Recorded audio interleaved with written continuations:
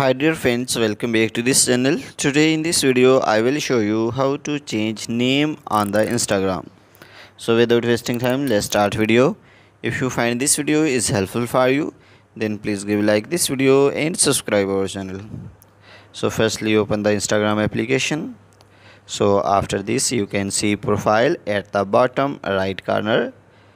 So click on it and then you can see three lines on the top right corner so after this click on account center. So after this click on profile. And then select uh, instagram. And you can see name option so click on name. And then write your new name.